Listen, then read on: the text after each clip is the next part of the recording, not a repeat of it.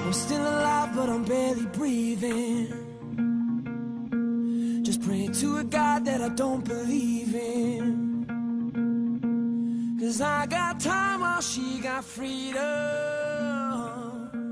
Cause when a heart breaks, no, it don't break even.